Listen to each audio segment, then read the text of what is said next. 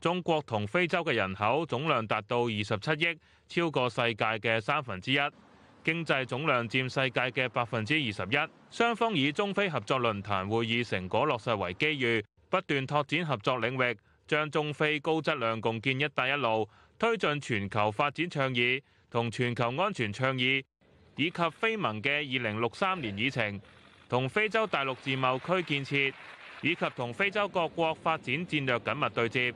南非約翰內斯堡大學非洲中國研究中心主任孟大維認為，中非雖然喺地理上相隔好遠，但係喺文化上其實有好多相似之處。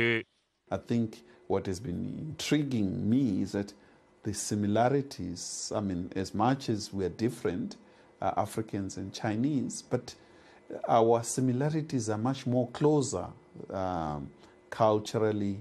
Uh, they talk about they are, they are much more uh, societal centered. We call it in South Africa Ubuntu. Um, that you are because I am.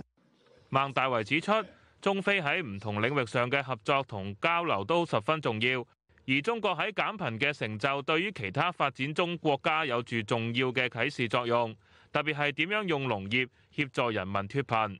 The core issue that Africans are learning from China is the upliftment of people from poverty, uh, a targeted approach uh, through agriculture. I think that initiative in a number of African countries. However, these initiative, initiatives are still in early phase. I think with time we're going to see more uh, achievements made in.